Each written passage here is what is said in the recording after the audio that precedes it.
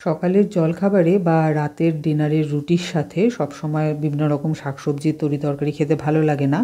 তার জন্যে চটজলদি বানিয়ে নিতে হবে এরকম একটা ঘুগনির রেসিপি ঘুগনি, নিরামিষ, আমিষ নানা রকমভাবে হয়। নিরামিষও যেমন বিভিন্ন রকমভাবে করা যায়, আমিষও বিভিন্ন রকমভাবে ঘুগনি তৈরি করা যায়। আজকের এই ঘুগনির রেসিপি আপনাদের যদি ভালো লাগে আমাকে অবশ্যই কমেন্টে জানাবেন।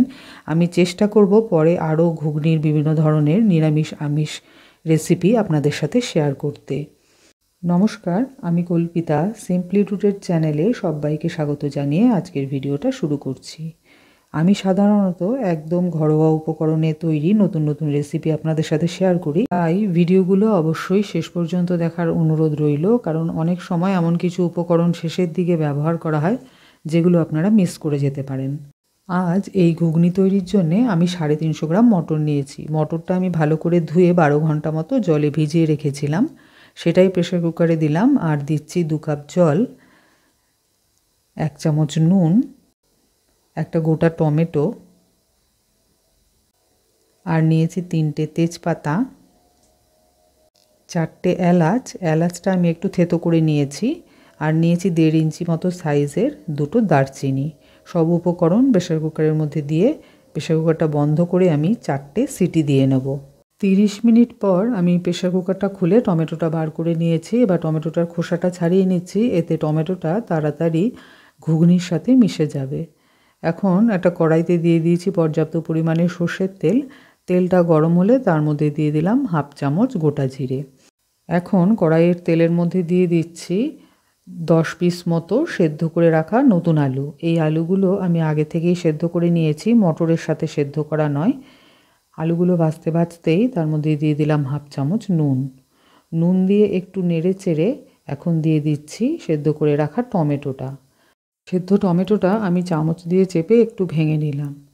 এখন দিয়ে দিচ্ছি হাফ চামচ শুকনো লঙ্কার গুঁড়ো, হাফ চামচ হলুদ গুঁড়ো, হাফ চামচ জিরে গুঁড়ো এক চামচ কাশ্মীরি লঙ্কার গুঁড়ো।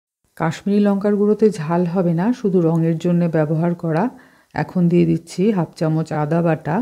এবার মিডিয়াম ফ্লেমে সমস্ত উপকরণ একটু দু মিনিট মতো নেড়ে চেড়ে নিয়ে এখন দিয়ে দিচ্ছি হাফ কাপ জল।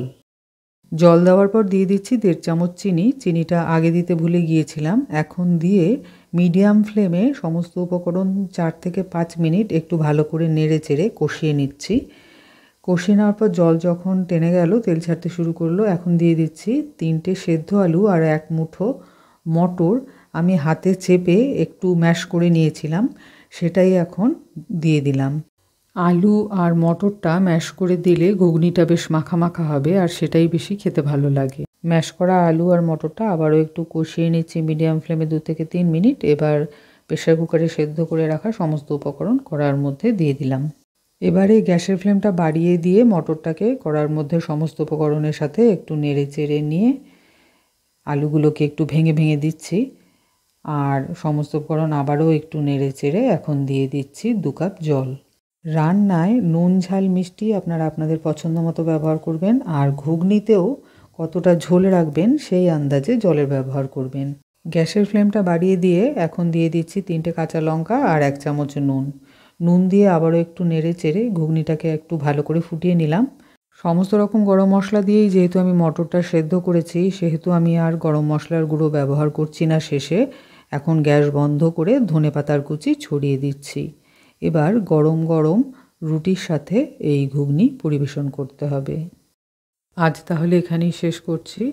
ধন্যবাদ।